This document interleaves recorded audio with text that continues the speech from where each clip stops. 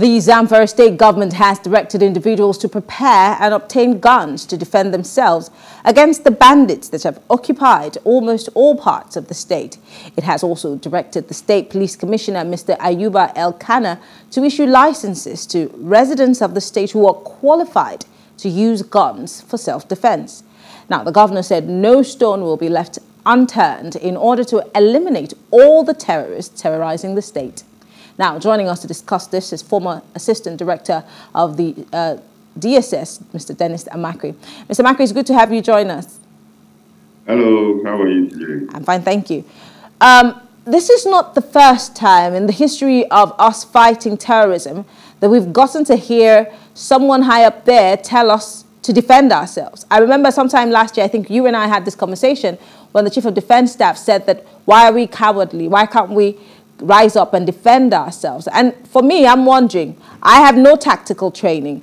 I have no weapons training whatsoever. How are we supposed to defend ourselves against a group of terrorists that have maybe even better weapons as opposed to what we might have or whatever we might have licenses to? Uh, but help us understand why a governor will take this position, first things. Yeah, thank you for having me. I think uh, the governor was overwhelmed with uh, the problems, the security problem that is happening in the state. So um, it is uh, very sad that it, uh, asking people to now defend themselves. Um, I think uh, one important thing we have to note there is that uh, the insecurity problem has risen to such a level that people are now so frustrated and they wanted to uh, get uh, some kind of other help. So, we, we, we've seen governments try their best uh, in dealing with these pockets of violence. We've seen the Amotekuns of this world. We've seen all kinds of paramilitary organizations, uh, sometimes just vigilante, um, you know, put together, uh, and sometimes even armed, sometimes not armed, to deal with these issues. But they seem to not necessarily be able to deal with the issue. So I ask you as a security person, why did you choose the word overwhelm? Yes, it is overwhelming if you watch your people die helplessly every day. And security operatives also fall in the line of, you know, duty uh, and you're unable to do anything. What do you think is at the core of this? Why is this overwhelming situation where it is right now? And is it something that we should also give up hope on because the Zamfara state issue has been lingering for several months? Um, what exactly do you think we need to do? Because every time I feel like we're having deja vu conversations, we keep saying what needs to be done, what needs to be done. But yes. how I mean, I, I listened to a conversation last, last week, if I'm not mistaken, about how many trillions of naira has been voted into security. But then we, we literally are yet to see, um, you know, the after effect. All we still hear is the number of people that are dying. So help us understand what exactly are we not doing that needs to be done? I personally think that we are not uh, addressing this problem from the root. You know, we have to address the root causes.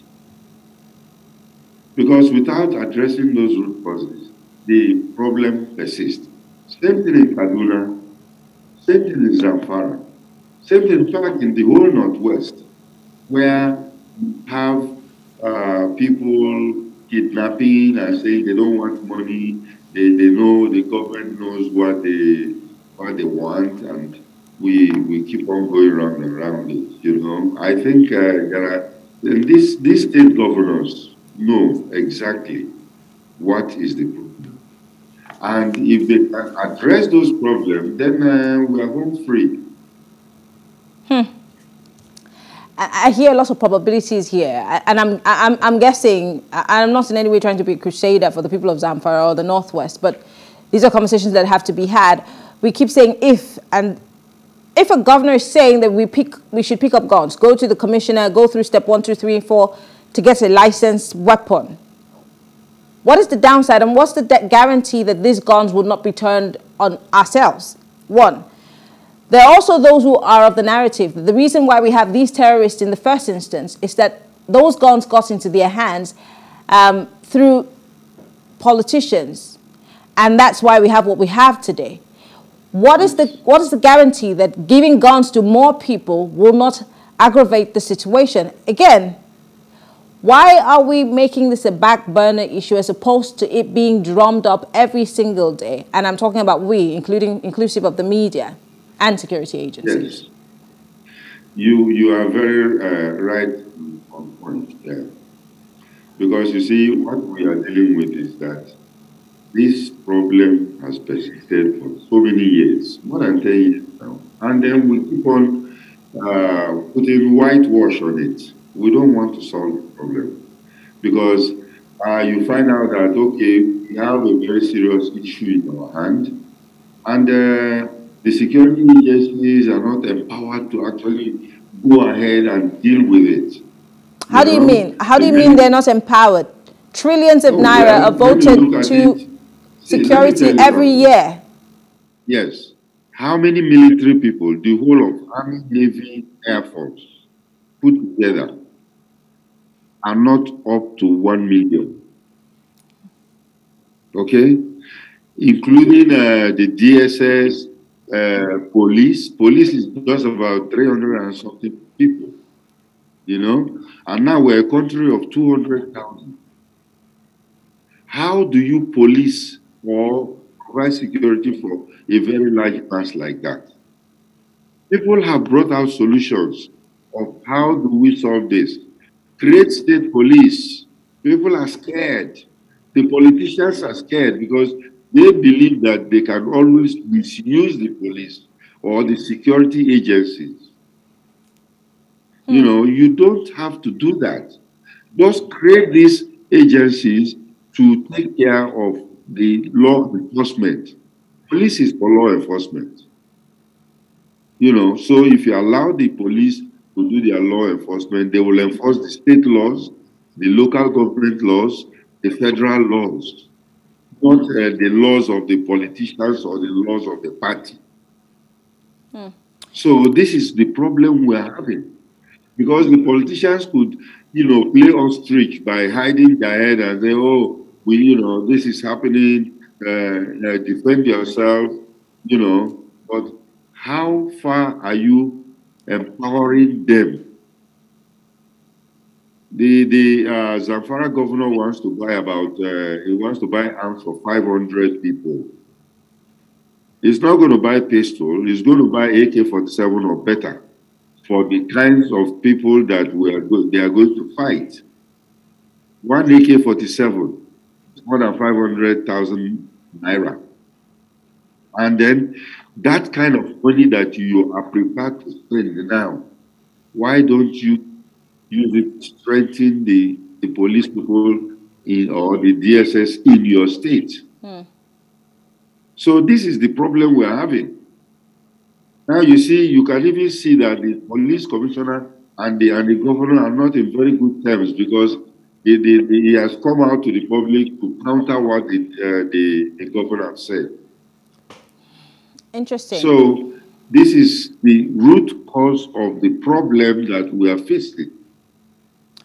I, I, I want to just tie this to, I mean, what's happening in the U.S. We see the level of gun violence, and it, it seems to be spreading every to every county, literally, in the U.S. And that's because the U.S. has a license to carry an open carry policy in certain states and in some other states you can just walk in you know to a mart and get a gun. Um, that's on yeah, the, that's okay. on one side. Back to the fact that we are in campaign season and elections are around the corner. Why are people especially in the northeast i know that there's been an outcry but we're not seeing some form of pressure on the government from the people themselves. Um, because what we see are people campaigning for people who they think they want to be president or senator or whatever. The elections have seemed to be taking front and center of everything, but people are dying. They become numbers of sorts because we report them every other day. So I ask, Could the, the reason why these things are persisting be the fact that we, the people, we, the affected, are not as persistent in pursuing our cause for, for life, uh, as opposed to how we're most excited about whoever we want the candidates of whatever party to be? Yes. Uh, first of all, you talked about uh, the arms uh, proliferation in the United States.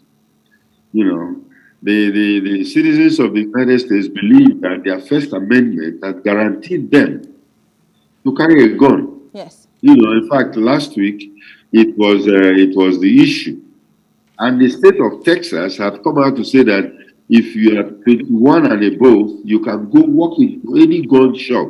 They have gun shops all over the place, mm. and buy a gun that you can use without permit just because you're a US citizen. Mm. And now they are also fighting with the issue.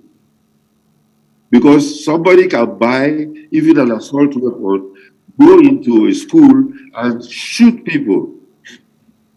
Within a month's time, it has it has happened in so many places, even right now.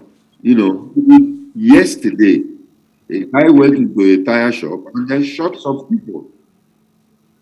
So you find out that gun control is becoming an issue, and it's going to be the next campaign issue in the hmm. United States uh, elections in 2006, uh, mm. 2026.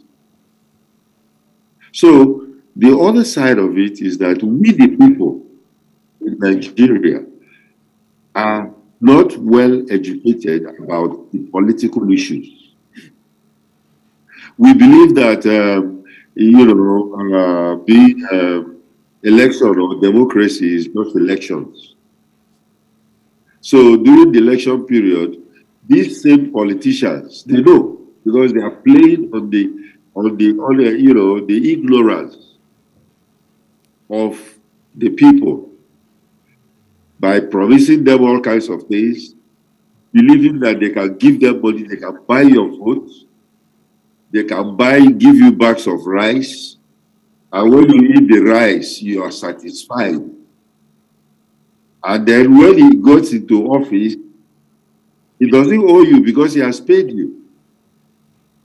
So I think there is a rejuvenation where people are believing that right now you have to really wake up. And then, of course, be the people, because the Constitution says, we the people. Eh? So it is that education that we need, whereby people will start to understand that the country belongs to them and they, the government or people in government, represent them. They send them there. They are their servants. People in government are their servants, not their lords. Because we believe that, you know, people in government are our fathers. They are our, our lords a governor would go and uh, repair a road, a two-mile road, and people would be uh, praising him and dancing on the street that he has done something. He's an uh, uh, action governor, as if he used his money to do it. So this political education is what we need. Hmm. Well, it's, it's something that we have to keep talking about. Unfortunately, um, we have somewhat got to a place where we don't necessarily place that much value on the number of lives that are being lost, and we're hoping that all of that can change in the future. Um, Dennis Amachree is the former assistant director of the DSS, and uh, we appreciate you for being part of this conversation. Thank you very much. All right. Thank you so much for being part of the conversation. Before I go, I'll just like to say, these people who are our leaders, their number one duty is to protect us. They promise us that they want to bring change. Have you seen it?